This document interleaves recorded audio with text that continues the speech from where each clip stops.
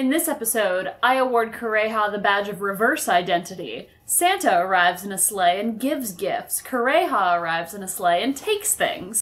Welcome to the journey. Welcome to the crew. We think we're pretty funny, and we hope that you will too. This is the opening song to season two. It's where the journey really starts because we've made it out of East Blue. We've got our snacks and we've got our friends. Now it's time to discuss the anime that never ends. Yeah! Start the show! All right, hello, fellow adventurers of the Grand Line, and welcome to King of the What Now, a podcast where we discuss the anime One Piece. I'm Kat, and I'm a witch who lives in a mysterious castle on the top of a mountain. Bam. You look rather good for your age. What are you talking about? I'm a young 130. And I'm Joel, a longtime fan of the series. I am a snow bunny, a giant, overly muscular snow bunny, and I've got mad hops. I'm Curtis, king of this podcast. I've returned to take control. After you ran away like a coward! Also, it's episode 33. Hmm? Huh? Oh.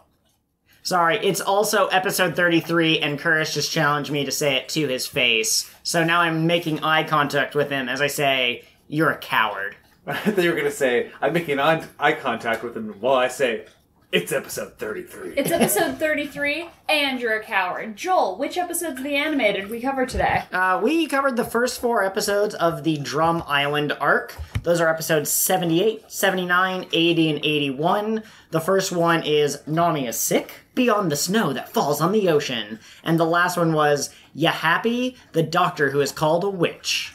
I'd just like to say, there was not nearly enough percussion in this episode. Ah, yes. Or Because it's Drum. Island. Yes. Okay, so the very first thing that we always do is we try to remember what the heck happened in these last four episodes. I'm gonna be honest, I'm gonna not remember most of the first three episodes because there was so much exposition and such, and also we saw something really freaky at the end of that fourth episode. But we will get into that in a second. This is going to be a shorter one, because, yeah.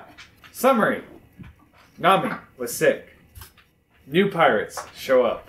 They are led by Wobble. Wapol, that's it. I wanted to say Warple. Uh, Wapol. And Wapol starts eating the ship because he's eating the uh, munch munch fruit, which apparently means he can eat anything. He tries to eat Luffy. Luffy shoots him off the ship. The pirates leave to go collect their captain. Launches him off the ship with like a punch. To be clear, Luffy did not wield a gun in this episode. Oh, yes. Um, then they find an island. It's called uh, uh, Drum Island. Mhm. We just said that.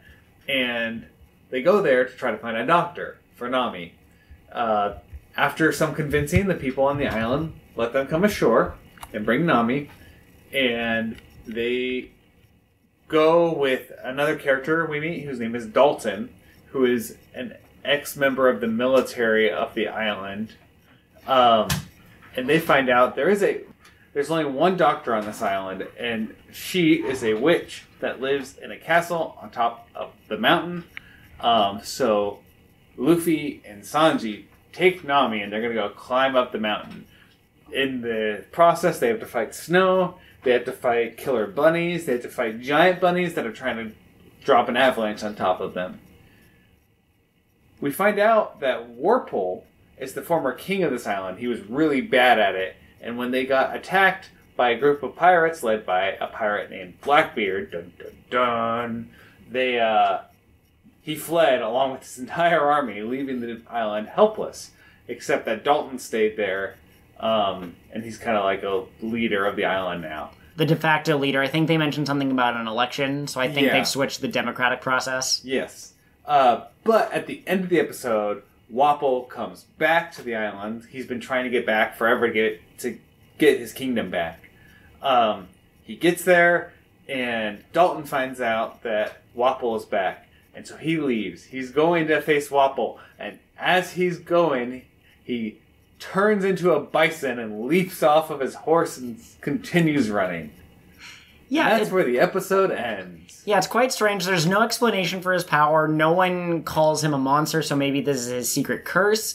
No one was around to witness him transforming, and I believe Usopp, someone mentioned that it was almost a full moon in one of the earlier episodes as they were getting near the island. Hmm. And so, I mean, Curtis, what are your thoughts as someone who is just starting the series? He is clearly a werebison. He was bitten by another werebison in the past. Either that, or he was bitten by a radioactive bison, or he was bitten by a radioactive werebison. Okay. You don't think that a radioactive werebison would result in something strange, like him turning into a bison with green fur or something? Well, I mean, I'm colorblind. I don't know what color his fur was. That's Fair not enough. how color blindness works. You tell us all the time you know what colors are. I know what some. I know what Who's some tapping? colors are. It was Okay. my toe. Okay. I don't, Uh, yeah, You know what some colors are, just not all the colors. yeah. Okay. Okay, uh, Catherine, why don't you tell us what part of these episodes that you thought was most interesting? I really love Kureha a Mhm, lot. mhm. Um, Oh, who's Kreha? I didn't give her a name. she's the spooky witch lady, my sister in arms. Um, she just kind of shows up and does whatever she wants, but like you can tell she has a heart of gold down under there. Also, she's talking to her reindeer, Mm-hmm. who seems to understand what she's saying and like can bring her antibiotics from her bag and stuff. So that's interesting. He's got a nice hat. He does have a nice. It's weird though. It's weird that he's a reindeer wearing a hat. Mhm. It's a little too fancy for a deer. So obviously, Dr. Kureha, despite being 139, is into what is hip and funky fresh and is posting pictures of her reindeer on Instagram. That's how she Oh, gets such a following. She would though. Like all of all of the One Piece characters we've met so far, Kureha would definitely have an Instagram, and she would definitely be inappropriate with Mm, it. She'd be yep. like Instagramming a funeral.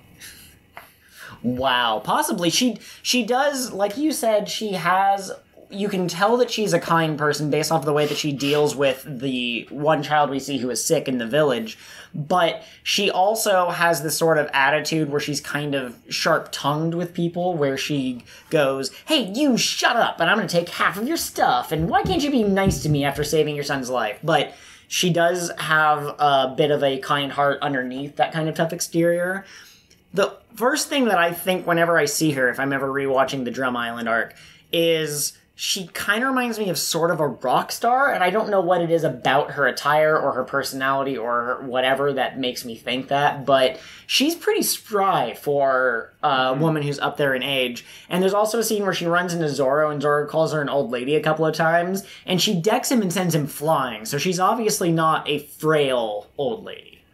I would I would say that I'm suspicious of her youth. Okay? I mean, she's a witch, but typically witches steal youth from people to stay Mm. young. So, And- oh, go ahead. I was just gonna say we already know that her payment scheme for being a doctor is to take whatever she wants from people's houses. Okay? I think she's sapping youth from Life people. energy? Yeah. Oh man, that would be cool.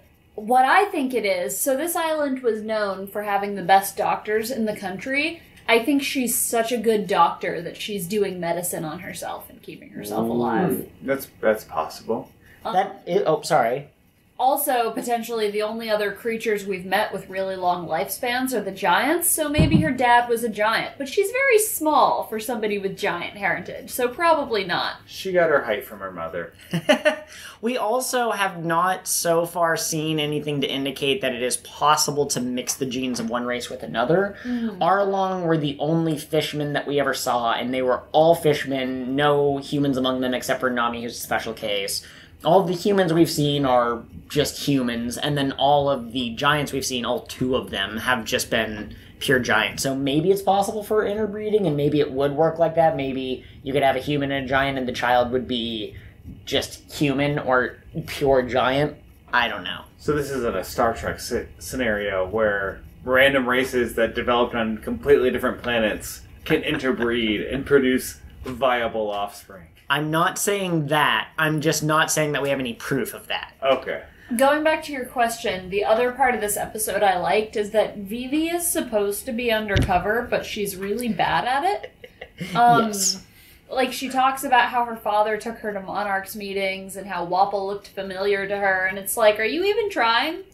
Like, cover your hair in a scarf or something. Be sneaky. Princess Jasmine was really good at being undercover, and she's from a desert kingdom. So I think Vivi and Princess Jasmine are taking different approaches. At the same time, Jasmine went undercover in her own kingdom, whereas mm. Vivi is out on the sea.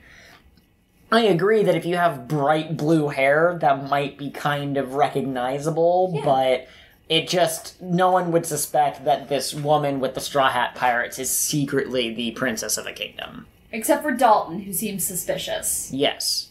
He said something about like I'm absolutely certain of it now, which you and I might have foreknowledge on, but as far as these four episodes, we did not get any elaboration on that. Do you guys have foreknowledge on this series? We have five knowledge. Oh. That's how advanced our knowledge is. Absolutely.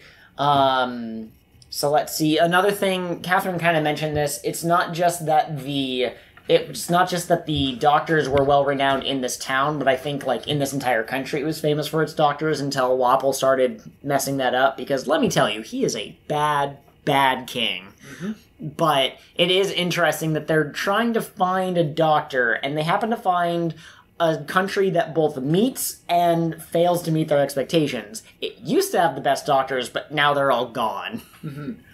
I thought that was interesting. Well, if you'd gotten here, like, you know, a year ago. Yeah, I think it was like a couple of months or something like that. Yeah. And um, so, yeah, can we just take a moment to talk about this Blackbeard thing? Because I don't know much about the actual history of the pirate era. Um, in, in real life, when piracy was at its height, but I do know the name Blackbeard. That's the one from Treasure Island, is it not? or is that Long John Silver's? I'm not sure, but uh, I know he was an actual pirate. Mm-hmm. Um, there was a real Blackbeard, um, and the only thing I remember about him is uh, he would when he would go into like when they would be raiding ships and that he put um, like I think they were it was like fuses and I don't know if he did firecrackers, but like fuses and that into his he, he would braid it into his beard and his hair and light it on fire, so he'd just be have smoke coming off of his head. Wow. Yeah, That's Okay. cool. I know he was pretty badass. Uh, when the Blackbeard pirates were mentioned, we saw some silhouettes. Did anything about the silhouettes stand out to either of you? They looked like pirate silhouettes. I They had pirate hats. Here's here's the problem. That's kind of a loaded question because obviously, maybe obviously, Joel and I have seen some of these characters, and so I saw their silhouettes and I was like, "That's that guy." And so to me, there are things that stood out. But I guess it makes sense that to you, you'd be like, "These are some generic pirate silhouettes. That's cool." Yeah. I do also want to point out that I believe when we were in the Little Garden arc, Luffy and Dorry were talking about how you could leave Little Garden without your log post setting, and maybe you'll get where you're trying to go. And they mentioned that there was someone who had been at Little Garden who had left without checking their um, their compass. For reasons I can't get into, I'm almost positive that that was Blackbeard. The timeline roughly lines up because it was shortly before Luffy got to Little Garden that this person left, and Wal- uh, sorry, I almost called him Walton. I mixed Wapol and Dalton together, but uh, Wapol was dethroned just a couple of uh, months ago. I say dethroned. He ran like the little Yeah. coward that he is. Yeah. I Um, I have a question. yeah. Do we know, like, what does Blackbeard have to gain from destroying this island? Like, he shows up, wrecks some stuff, and then leaves? I'm assuming that he probably took some treasure with him too. Yeah, okay, pirates take treasure, that makes sense. I mean, I, I think we are used to following the the Straw Hat Pirates who don't go around and raid towns and take treasure and then leave. Um, but I would assume that's somewhat normal for some of the pirate crews, at least. They Not are all. pirates, yeah. Yeah. Uh, we were introduced to one other character in these four episodes that we haven't brought up at all. Uh, Mr. 2 set out to kill Mr. 3, and we only Oh, yeah. got a very brief glimpse of him and his swan themed ship. Oh yeah, because uh, Smoker and uh, Tashigi. Tashigi uh, made an appearance again, uh, Mhm. and they captured Mister Two, who they captured No. Mr. Eleven. You're right. They captured Mr. Eleven. I'm sorry, I'm getting two different scenes mixed up. They captured Mr. Eleven, But yes, we saw briefly. We saw Mister Two talking to people at in Alabasta, I think. I don't. Yeah, I think maybe so. I don't want to go into it hmm. too much, but I'm excited to talk about Mr. Two more later when we've seen more of what he does. Mm-hmm. I do want to kind of circle back. I think I lost my train of thought a little bit earlier. The interesting thing about Blackbeard, maybe they show up later, maybe it's just a name drop to make the world feel more full. Maybe Luffy showing up and meeting or and finding the country without a king means that the story will take a different route than if he had shown up and Wapol was still in power, for example. But I think that if you're going to write a story about pirates and you name drop one of the most famous pirates, that just seems really interesting. And I think this is the first time that it's happened. No one else. Maybe you could say that Captain Morgan could be a, a reference to the alcohol. I don't know if there's a real Captain Morgan, but Blackbeard is one of the only names taken from real world history and mm-hmm. inserted into the One Piece world. I believe there was a Captain Morgan that the that the rum's named after. Okay. So we now have two, but I'd say that one of them is more tenuous. One of them is literally the same name from the real world, the same title Yeah. sort of thing. You know, there was actually a Captain Buggy too in real life. Had you Oh, never yeah? heard of Captain Buggy? no, I hadn't Yeah, somehow. he was. You know, every he was the terror of the Caribbean in like 1994. He, Oh, yeah. he, he toured on uh, uh, doing a clown act on cruise ships there, and he he got caught pickpocketing some people, and he got hmm. kicked off the cruise ships. He was wanted for murder because it was said that someone on the cruise ship had insulted his big red nose, and he had responded with, Whose nose is big and red? And he'd just gone on a rampage, just right then and there. They covered it up and said that everybody on the on the ship got sick, but no, no, the clown went nuts. That's actually where our common clown phobia comes from, is from that one incident that's embedded in all of our, our uh, psychic memories. Not psychic memories, No, our yes, collective psych- yes, psychic, no psychic memories. Joel. Okay. It, we all absorbed it used through our collective human psychicness. Okay, fair enough. I do also, you, every once in a while, I'll say, if you're not watching these episodes at home, here's like one scene that you should take time out of your day to watch. My favorite one from these four episodes is Luffy and Sanji going towards this mountain, which, by the way, it's not like a triangular pyramid mountain like you're used to. It's like a round column. It's like a straight up to the very top, and I have no idea how Luffy's going to climb that thing.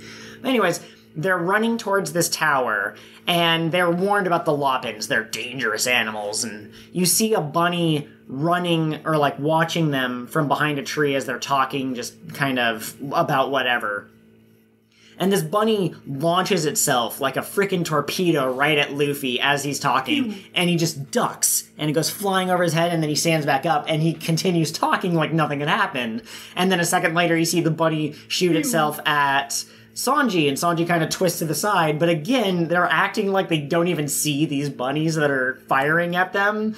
And eventually, Sanji's like, Stop interrupting! and kicks the bunny into the air. And that's when the parents show up, and the parents are much bigger than the small uh, baby Lapins. But A, the Lapins are cute, and B, I love the way that Luffy and Sanji are talking about. Oh, did you hear that people in snowy countries never sleep? Well, did you hear that the women in snowy countries have super smooth skin? And th- three or C, I can't remember if I was using numbers or letters, but I love that uh, they're just completely oblivious, but not really, to these animals that are attacking. It reminds me of the fight with um, Miss Valentine's Day Oh, and yeah, and Mr. Five. Oh yeah. when they first showed up and Sanji and Luffy, or not Sanji, Zoro and Luffy were super focused on each other, and then eventually were like, "You're annoying." hmm This is something that One Piece has earned. We've now seen Luffy and the other crew members do awesome things, take out imposing threats. So at this point, they can have a little bit more fun with it. They can have these characters kind of messing around while also being in dangerous situations. At this point, we're so used to them being strong and goofy, we can now get both extremes, and it's, hmm. it's a good juxtaposition. Agreed. That covers my favorite scene. Catherine talked about her favorite scene. Chris, is there any standout scenes in these particular episodes? Um, I'd say the uh, the scene when Karaha, Kureha? Kureha, Mhm. the scene when Kureha heals the little boy. Mhm. I think that was a good one because it was a good character introduction. You get a good feel for who she is as a character. Absolutely. both. I guess I should elaborate. Uh, so we hear there's a kid crying, and the dad's like, "You need to stop crying. Stop crying. You're irritating our customers because they run a restaurant." And Kureha is outside the door, and it's like, "Well, that sounds like a bad father. Any kid who's crying, it's probably a sign that there's something wrong with his body." And then you know bashes down the door and goes in.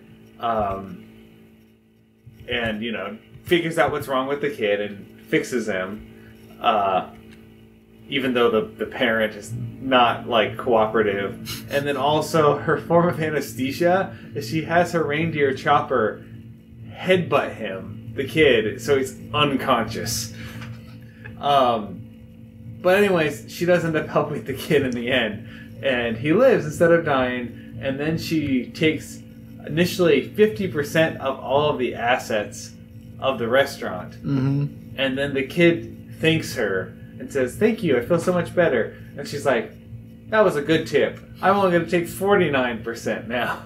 Also, your toilet paper, because I'm out of toilet paper. She's so weird, and the reason they call her a witch is because apparently she comes to town on a sleigh, and it's very much so a Santa Claus reference. As soon as we saw it, all of us recognized it, for what it was. it was a picture of a sleigh flying through the air, being pulled by a reindeer in mm-hmm. front of a moon. It While was- it's snowing. Yeah, it was like, You're Santa Claus. Exactly. But she does the reverse. She shows up and she takes people from all the different people. Calling her a witch is interesting because I feel that it's a very witchy or kind of fairy thing to do of instead of paying you, me money, I'm going to you're going to owe me a favor or I'm going to take something from you that seems like the sort of compensation you get from fairy tales. You know what it is? She's not St. Nicholas. She's that other guy. Um, Oh sure, the Krampus? yeah, she's Krampus. she comes and she just takes. Also, she's gonna she she takes people and kills them. Oh geez, okay, I think interesting. That's what Krampus does. Well that's what yeah, I think that's, That's what what Krampus does. I don't know if she's does. what's going to do. I Yeah. got the impression from Kureha that she is a woman who appreciates um, strength and like straightforwardness in people. And so I kind of feel like she almost sees it as acceptable that she's taking things from these people in exchange for her healing because they're weak. They couldn't even hold on to their own doctors in the first place. and I mean, also, supply and demand. There's only one doctor and a lot of sick people. And no insurance. yeah, I know. Mm. I, I liked how early on, uh, so there's a flashback when uh, uh, Wapol Wapol? is king, and he's like, "We're gonna get rid of, we're gonna exile all the doctors except for 20 that are be my personal doctors. They'll be the 20 MDs, and they'll just be for me. Um, and you know, people can pay and use them." And I was like, "Oh, so this show is about like high medical prices." Here's the thing Wobble's point that people would have to be nice to him and they wouldn't be able to rise up against him because he controlled all the doctors in the country, that was something of a smart political move. I think eventually you'd have insurrection anyway, but whatever. But, like, it was despicable, but it made sense. He's still a brat, though. Don't like Wobble. I don't think he did it because it was a smart thing to do. I don't think he saw it as a way of putting the people down. I think he literally doesn't care about the other people. Well, that's And- true, but he also explicitly said, this way nobody will rise up against me. Fair enough. I think it's interesting that we we don't talk about the themes of One Piece that often, but one of the themes that does show up is you have to be willing to fight. You have to put your life on the line in order to make dreams happen. That's the super secret uh, formula for Luffy's success. He always fights and he always puts everything on the line, and he achieves more than those around him. That's what he inspired Koby to do. So I think it's interesting that as soon as Wapol saw Strong Enemy show up, he said, nope, and left the country. I don't. You can tell that he doesn't care about the country itself. He only cares about the title and the status. He's a pampered rich brat, and oh my god, it's gonna be so good when Luffy punches him in the face, or the mouth, or the stomach, or wherever he's going to get punched. Do you think he'll get punched, Curtis? I do. By Luffy? Uh, probably. I mean, Zoro's not going to punch him. He'd cut him and Sanji's not gonna punch him. He'd kick him. Yeah. Luffy is the main character of this anime, so I feel like he ends up doing most of the really impressive things. But it seems like if anybody should be allowed to punch him, it should be like Dalton or one of the mm-hmm. people who actually lives there. So Yeah. it would be cool to see one of the characters who has some emotional stakes fight him. But I get it being Luffy because mm-hmm. Luffy's our man. I mean, I think Dalton will help. Also, I do gotta say, it would also be great if Vivi took him out because of the number of times she's commented on what kind of a king would do this. I would love it if she showed up and might makes right. I'm taking this country. Alabasta's gonna absorb the Drum Kingdom and kick you out of here, God, Wobble. imagine that. Imagine a Vivi adventure where they keep getting stuck at these different islands and she keeps adding them to the Alabasta Empire as they go. And by the time she actually gets to Alabasta, she's raised an army to take down the rebels. And then and then she takes over, and then slowly turns into a like a despot, mm. Aw. ruling with an iron fist over her whole empire. She And gets her she- own metal jaw and she marries Wapol, and to be continued in Oh. chapter two of fan fiction. I'm sorry. I wasn't gonna marry her off to Wapol. God. She can have the weird shapeshifter Dalton. oh yeah. Okay. It took me a second. Shapeshifter. Oh, that's right. He turned into a bison. Okay, I have two more points that I want to bring up related to Dr. Kureha. They're both Yes. very short points. Kureha is 139 years old. Everyone calls her 140, but she likes to correct them as 139. Also, one of the first speaking lines she gets when the villagers talk, they they yell, "It's Dr. Kureha!" She goes, "What's that? You want to know my secret to looking super young?" Even though she does not quite look super young, she doesn't look old and frail, but she is she's not in her 20s anymore. You can tell by her design. But uh, the other thing that's interesting about her, in addition to the old age, is her name, Kureha. To me, I know a little bit of Spanish from high school and college, and the Spanish word for which is bruja. And just the fact that her name ends in that sharp ha sound, I almost feel like that's intentional and an allusion to uh, her witch status in the village. So those are just two interesting facts, and uh, I don't know if they'll ever say this in canon, but it is not impossible for a human to live to 140. That's the lifespan of a person in the One Piece world, even though in our world it's about a 100, you would say. Yeah. So, all right. And with that, I think that we need to go to our sponsor for this week. Yes, that's right. We got a, another sponsor this week, and as usual, it's going to be someone that hasn't sponsored us uh, so far because we like to keep our products new, fresh, and interesting. You know, they've always had that phrase about bottling up your emotions, right? When you're in a situation you're getting angry or you're sad or that sort of thing, maybe you just try to ignore it. Maybe you try to push it down and it's it's called bottling it up. But this company, Magic Bottle Incorporated, has actually found a way to make that phrase a reality. No longer will you have to have the willpower to prevent yourself from exploding and yelling at uh, those you care most about or people in position of authority, perhaps like your boss or a teacher, for example. Now you can use this patented magic bottle technology and it'll just slurp all of your emotions away. Can it be used in conjunction with the Slurpomatic? Yes, that's right. You can combine it with the revolutionary tech technology of the Slorpomatic, so that way it can be even better at absorbing your emotions and that sort of thing. Feeling kind of down? Well, you should probably see a doctor, but it's also possible that you could absorb a little bit of that excess, you know, energy. And maybe if there's someone who's just a little bit too perky, you could just kind of switch it on to the reverse mode and inject them with some of it and kind of, you know, just even them out a little bit more. Are you recommending we give our sadness to other people? No, I'm just saying that in a true utopian society, we should all, you know, share our emotions in that way. So everyone should have a little bit of the happiness pie, and everyone should have a little bit of the of the sad pie, and that sort of thing.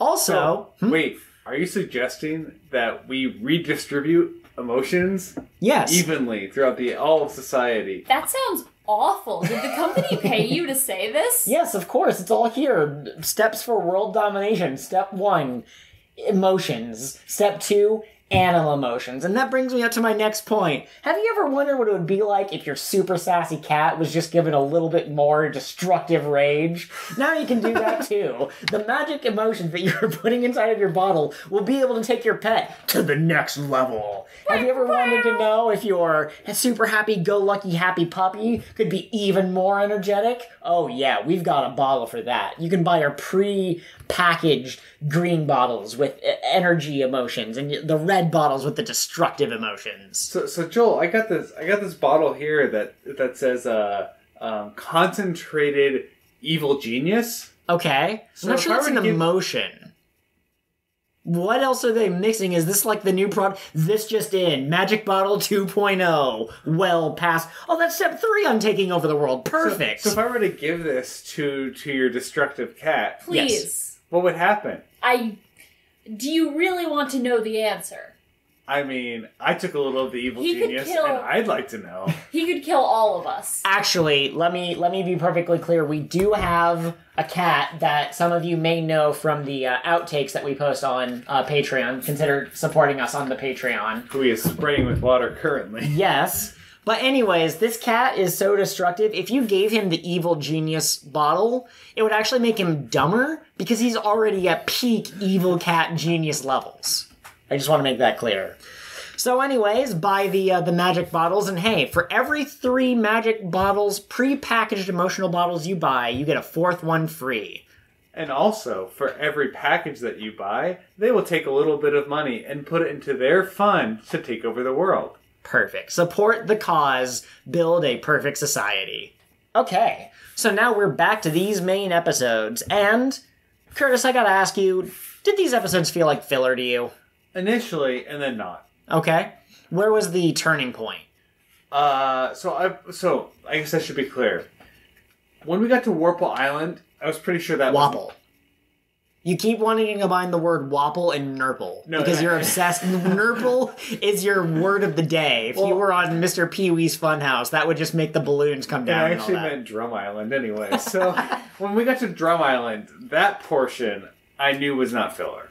It did not feel like filler. They needed to get Nami help, and I, it's you know once we got to the island, it's like okay, this is not filler. Initially, I thought Wapol, who sounds like waffle, was filler Mm. because of such a random short bit, and then we found out he was the old king, and then he showed up at the end. I was like, okay, so none of this was filler then. All of it's relevant. Everything is important, Joel. You should not for, you should not neglect a single detail in the One Piece universe. No, That's no, why no. it's very important that Zoro's third button is a different color from all the other buttons.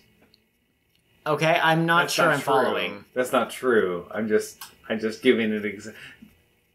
Nothing. It's, it's a, this is a failed bit. We're gonna Okay. move on. No, that's all right. No, so he has the one button that is vote for Luffy because the Pirate King is decided by democratic process, and that button is white with black text. He has another button that says "damn chef" because he obviously doesn't like uh, Sanji. That is a white button with black text. But his third button, it's in a different color, and what it says is uh, down with anarchy, but it's in the wrong color, and that's significant because he's actually wearing that button ironically. He is, he's very much up for anarchy, and he Right. doesn't like people who are trying to suppress the anarchy. Yes, yes, it's in the yellow and black, which, as we all know, are the colors of the anarchist flag, therefore demonstrating his true loyalty to the cause. And then- Interesting. Then, he has a fourth button that says "I heart Oda," and that one was just there for Oda. He also has the secret button on the back of his neck that can be pressed every once in a while. That's when he's getting too, like, angry, and it just puts him to sleep. And man, that episode when Smoker finds out about that button, there's no way that Luffy could possibly get out of that situation without his number one swordsman at his side. Really quick, really quick, Curtis mentioned Oda, and I learned something new about him. When he's bored, he goes on Twitter and he posts videos that I guess he has an app on his phone where he can make little creatures show up in like AR. And so he posts videos of little creatures messing around on his sketches for the new One Piece chapters. yeah, like I think the last one we saw was dinosaurs, and I've only seen a couple that were different dinosaurs, but I he, there might be other animals that he might. great. The last one was dinosaurs. The one before that was gingerbread men for some reason. Like, I love Oda so much. He's such a ridiculous man. Joel, Yes, are there gingerbread men in One Piece? Are there? there might be. I don't know. Where would you think it would be thematically appropriate to have gingerbread men? Would it be with the witch? Do you think? Or would you have a island that was made out of like cookies or baked goods? Would you have a magic spell book? Gumdrop Island. Gumdrop Island. Okay. Yes. All everything is edible, which is actually a problem because Luffy just eats everything. Okay, including the people. Yep. Tell me about the bad guy for Gumdrop Island. Bad guy for Gumdrop Island uh, was uh, Farquaad from from Shrek. Boo. Come up with your own material. Reference joke. Okay. Uh, bad guy from Gumdrop Island. is Dr. Robot. He cannot taste the sugar on his taste buds, so he he, he hates all organic life who are t- who are having this experience that he cannot enjoy. Yeah. Dr. Ro did I say doctor or mister? Doctor. Dr. Robot wants to experience all things that humans do, and that's the one thing that's eluded him. Joel. Sleep, he's experienced that. Um, kissing ladies, he's experienced that. Kissing guys, he's experienced that. His toes running through the grass in a freshly painted field. I don't know why I said painted, but he's experienced that too. He can simulate all of those, but not the ability to taste delicious snacks. Joel, I have a question for you. Yes. Are there robots in One Piece? I don't know. We haven't seen them yet. There are submarines in One Piece. Go on, Kurt. The real villain of Gumdrop Island is Kale Veganman. Ooh, okay. He does not eat candy or sugar, Mm, it's cruel to animals. vegetables, and other. Mm, Luffy's greatest fear. Every night he wakes up and he goes, ah! And Zoro goes, Are you alright, Captain? And Luffy goes, It was the vegetable dream again. oh my god. Imagine him waking up and Zoro's looming over him and he's suddenly terrified because what does Zoro have? Vegetable hair. Oh no. And then he wakes up from that dream even more terrified. Um.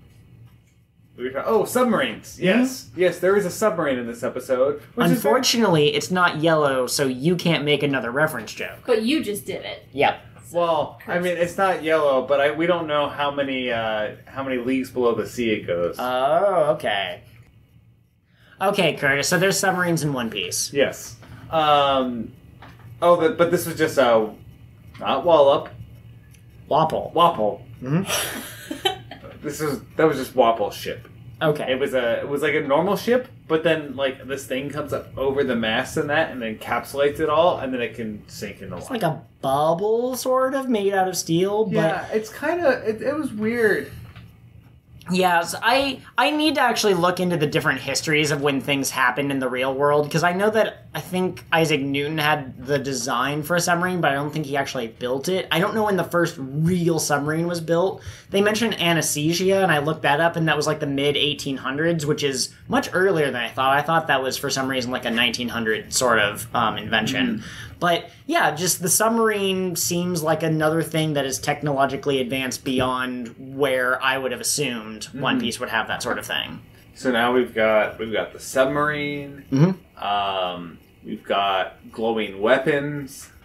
We've Okay. got uh, we we've got the the, the various high tech alien sightings. Mm, yes, Uh, those those have been happening just nonstop. The radiation that they pumped into the various crew members as part of some evil plot to take over the moon. The uh, the mushroom clouds in the background on that one island. That was Mhm. interesting. And that was weird when this isn't exactly a techno- technology thing, but it was just weird that one time when we saw Usopp stomping on what were clearly Goombas. Like, I did not expect Oda to be such a fan of the Super Mario series as to bring those characters into Yeah. this. Like, what's going to happen next? Is Kirby and Wapol going to have a, a an eating contest or something? I don't know. And then you know there was disco too. I mean, come on. Which clearly is from the 1970s and no earlier in history. Oh, I wasn't going to say anything, but since you're looking at me uh, expectantly, I do have a question for you. if you were going to do a One Piece Nintendo crossover, which character would you match up with which franchise? What a fascinating question that would take about an hour to probably discuss. Uh, you know, between all of us, we could have different opinions and we could put that as a bonus episode. Yeah, okay. I mean, probably not Halo. That's my answer. That's not, a Nintendo Halo. game. Oh, yeah. I thought you were talking about video games for a second. Okay, so definitely not Kid Icarus. I never played it. I have no idea what that's about. There's a guy with wings. Who is VIP? Not VIP. MVP. That's the one. Who? Yeah, who would you? I'm gonna let you answer first, Curtis. Who would Nami. you? Nami. Nami for being very sick but still willing to help Vivi out. The Vivi Nami friendship, which spoiler alert is only going to get stronger as they get closer to Alabasta, is on point this episode. You have Nami getting sick and trying to say, "Oh, don't worry about me. We need to get to Alabasta super quick." And then Vivi gives the speech about, "We need to get to Alabasta as quickly as possible." And you go, "Oh no, that means she's comfortable with letting Nami die." And then she says, let's get Nami better because she's the only one who can navigate us there. And they, I think they're supposed to be about the same age, and I think it's just the fact that they're both girls, but their friendship is very strong, and there's a lot of uh, scenes between them kind of helping each other out and building each other up, sort of a thing. I thought MVP of this episode was Dalton for mm. explaining all of the background. There was so much exposition in these episodes, but it was delivered in a less obnoxious way than exposition is sometimes delivered in this mm, show. Mm-hmm. So I appreciated Dalton. If I had to pick a real MVP, I would probably go with uh, maybe Nami, maybe I was gonna say Zoro, but no, Zoro just kind of hung out doing his own thing. Kureha actually was my MVP. She's great. She saved that kid's life, which is more than we can say for anyone else in this uh, Yeah. show. Which other character has saved a kid's life? Mm-mm-mm. None of them. And she also punched Zoro. Or no, kicked. And one of she the two. kicked Zoro. She put him in his place. It was beautiful. I thought it was a punch myself, but we don't have to a get. punch. I'm tired. It was a hit with a limb. Yes. Um, I think that I would have to give MVP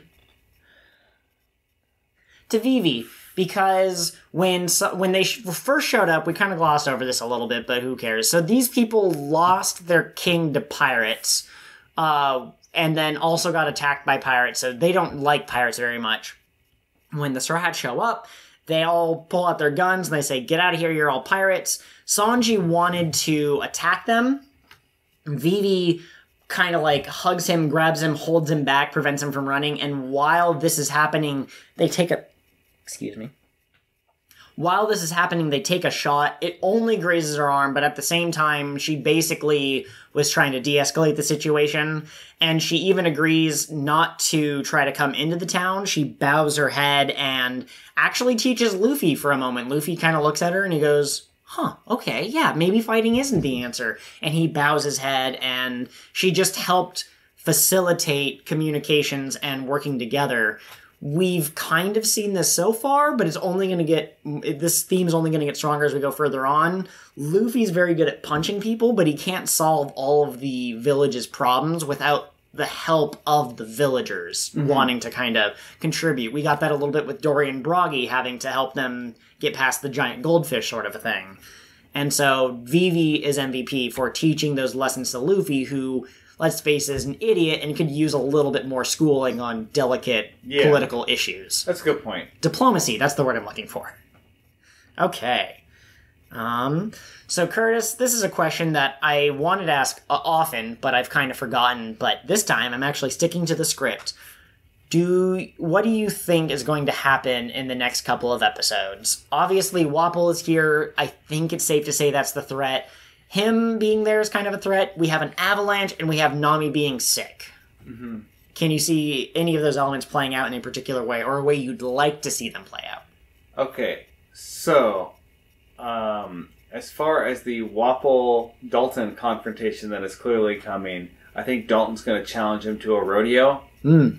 And if, if if he can lasso him up and hog tie him, then Wapol wins rights to the island again. Mm, okay. I, to be honest, I'm not sure what's going to happen. Sure. He's charging at him as a buffalo. I'm, I'm, something will happen. Okay. Um, I think Luffy and Sanji are going to get away from the, the avalanche somehow and continue on their trek up the mountain, which is going to be interesting. Um, Kureha, I said that right, right? Yep. Okay. Kureha is, I think, headed back to the mountain now. Um, hopefully. Maybe. Yeah. Um, so I'm hoping that they get there with Nami. I think that's going to happen. I, uh, I guess because Usopp and Vivi were together, they'll probably f- try to follow Dalton, which Okay. will be an interesting because they're not going to be great backup. I mean, I, it'll probably end up being Usopp trying to protect Vivi. Sure, because she's the important mm-hmm. one, and he has to be the brave man to protect her and that sort of thing. Yeah. Yeah. And then, meanwhile, this is Zoro's turn to be useless on the sidelines and like oblivious to what's going on as he just continues to train in the cold weather. Yeah, I'm not quite. I get it that you sometimes want to focus more on one character or another, but uh, Zoro staying back at the ship and then doing some training and walking around, I gotta be honest, I don't remember where Zoro goes mm-hmm. next, and it just feels like Oda said, Well, I only need two people for this scene, and two people for this scene, Zoro can. He'll be doing push ups. Yeah, I, I think either my guess, and we'll see if this keeps happening, uh, is that in order to sideline certain characters, so like he might say, okay, well this plot works, except that if this one character's in there, then it really kind of. You know, it's gonna oversimplify things. I'm just gonna sideline this character for the plot, right? Yeah, well, and I think Zoro is supposed to be fulfilling the role of watching the ship. Uh, he's just real dumb, He's bad and at he it. got lost. Uh, Zoro, your name is not Zoro. Your name is Curtis. Curtis. Yes. One of the questions Joel liked to ask you a lot early into the podcast was, uh, did anything feel like foreshadowing? That question's a little open ended, so I'm going to shift it a little bit. Did Zoro going on and on about, like, if only I could have cut through that wax, I need to get stronger, did that seem like foreshadowing to you? And what do you think will be the result of it, if so? Um, I mean, yeah, I think he's gonna get stronger. Uh, I clearly he's gonna keep training. Um, being One Piece, his strength increase is probably gonna be like superhuman. I mean, he's pretty he's pretty beyond most humans already as it is, and his determination and his ability to stand on his feet even when he's bleeding from Yeah. hip to sternum or whatever that phrase is. I'm just I'm thinking like Zelda level, like shooting lasers out of his swords. Right? Okay. That'd be so cool. So that's your prediction is laser swords, to Well- be clear. Okay, yeah, I was gonna more like slashing energy waves, but laser swords. Let's just say laser swords in general. Okay, perfect. I think that's a wonderful note to end on unless anyone has a final thoughts. Final thought. Are Karoo and Zoro going to be the buddy cop duo we needed? I would love that. Final thought. Mhm. Laser swords. Aliens. Are there aliens in One Piece, Joel? You have to figure out the robot thing first. You promised me the escalation from one thing to another. Okay. Um, or no, gingerbread men. We have to wait for gingerbread men to show up before we're you doing can. robots. I asked robots last episode, I think. Too, Okay. So Wonderful. We'll robots first. Here is my final thought. Luffy versus Wapol. Both men with big appetites. Maybe this arc won't end in punching, maybe it'll end in a feast. And they could both be eating spaghetti, and then it turns out that the one strand between them. I think with that, we're ready to sign off. Imagine Wapol is eating Luffy's feet. Luffy is eating Wapol's feet. They're just a. Ouroboros of two really hungry people. Have a good Oh night, everybody. Outro Um, goes here. So ends the next leg of the King of the What Now adventure. We're sad to see you go, but we'll be here next week. If you crave some social interaction with us in the meantime, you can find us on all sorts of different media. We have Gmail, Patreon, and Tumblr. All of those are King of the What Pod. King of the What Pod at gmail.com, patreon.com slash Kingofthewhat Pod, King of the What Pod, kingofthewhatpod.tumblr.com. Our Twitter handlers are a little bit different. You can reach me at K-O-T-W-N underscore pod. And you can contact me, Curtis, at Pirate Co-host. Also, please take a moment to rate and review our podcast on whatever platform you're using to listen. Not only will this help others find the podcast, but your constructive feedback will help us improve the show as we go. Thanks so much for giving us a listen. Until next time, follow your dreams and protect your treasure. Remember, it doesn't need to be literal treasure.